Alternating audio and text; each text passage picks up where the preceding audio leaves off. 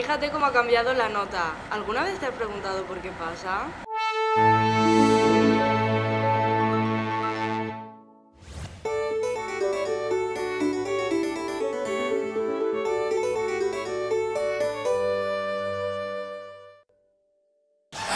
¡Ondas! Nos lo traen prácticamente todo. La luz, el sonido, los terremotos, la tele, la radio, el wifi... Todo se transmite a través de ondas. ¿Que te has hecho una radiografía esta mañana? Ondas.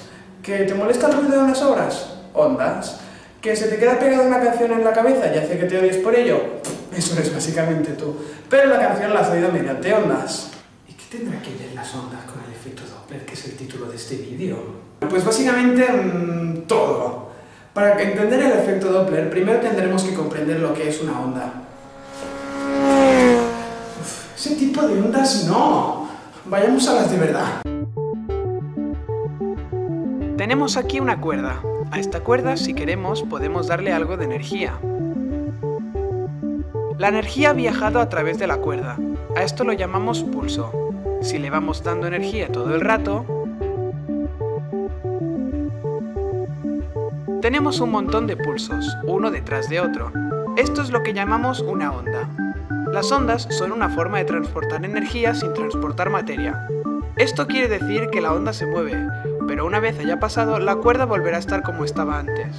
A no ser que la sueltes y se vaya por ahí. No, la sueltes, la cuerda no te ha hecho nada.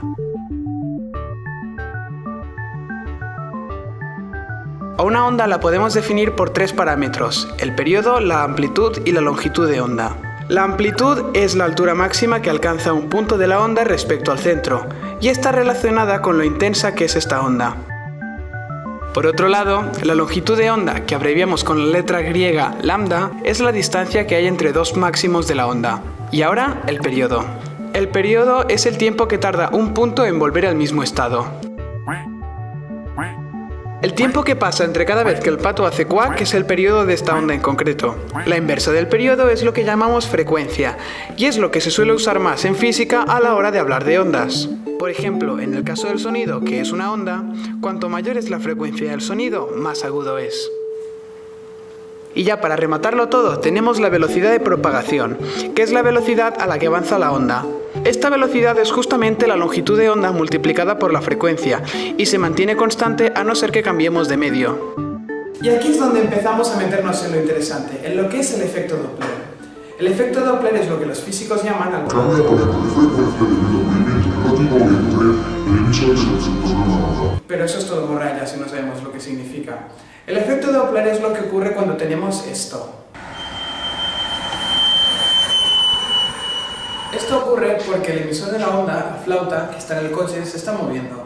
Así que termina habiendo efecto Doppler. Esto también puede pasar si somos nosotros los que nos estamos moviendo y la flauta se queda quieta. ¿Y por qué ocurre esto? Bueno, el efecto Doppler tiene dos causas básicas. Que sea la fuente de la onda, en este caso la flauta, la que se está moviendo, o por otro lado, que seamos nosotros, el observador, los que nos movemos. Pero vayamos paso a paso. Pero claro, esta onda está solo en una dimensión. Aquí hay una onda en dos dimensiones. Vale, perfecto.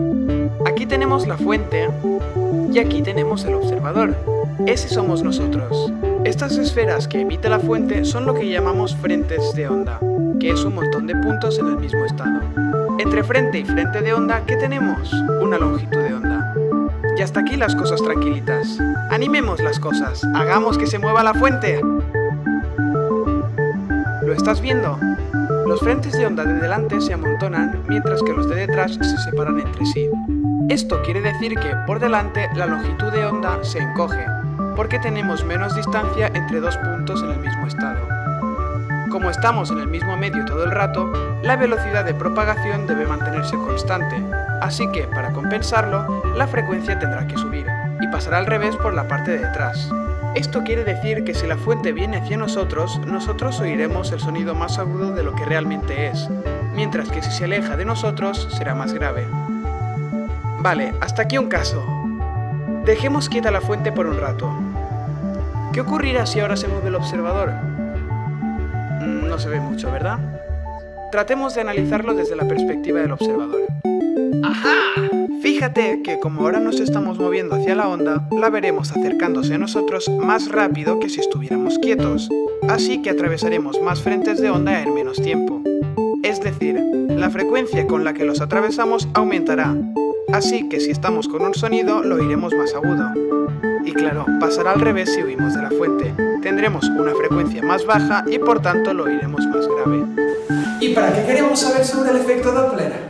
¿Qué podemos hacer con él? Para expandir nuestro conocimiento. Por ejemplo, la luz es radiación electromagnética. Eso quiere decir que es una onda y por tanto también tiene que sufrir el efecto Doppler. En el caso de la luz visible, si nuestro objeto se aleja de nosotros, su luz se desplazará hacia longitudes de onda más largas, es decir, hacia el rojo, mientras que si se acerca a nosotros lo hará hacia el azul. Y así fue como a finales de los años 20 el astrónomo Edwin Hubble vio que las galaxias estaban alejándose de nosotros y así descubrió que el universo se expande, lo que fue crucial para formular la teoría del Big Bang. ¿Que para qué nos sirve en la vida cotidiana saber sobre el efecto Doppler? Bueno, ¿saben los radares de policía que miden la velocidad a la que vas y si te pasas te multan? Adivina qué usan para medirte la velocidad. Sí, sí, el efecto Doppler. Pero esta clase de radares no solo sirven para poner multas, sino que además salvan muchísimas vidas. Sin ir más lejos, ayudan a manejar satélites de telecomunicaciones y a controlar todo el tráfico aéreo que hay en el mundo, evitando que los aviones se estrellen entre sí y cosas de esas. Así que ya sabes, cada vez que te subas a un avión y no te mueras, dale las gracias al efecto Doppler. La luz, el sonido, los terremotos, la- la- la- los licántropos. La radio. Ah, la radio. ¿Qué podemos hacer con él? Expandir nuestro. Nos has reventado una llama que valía millones.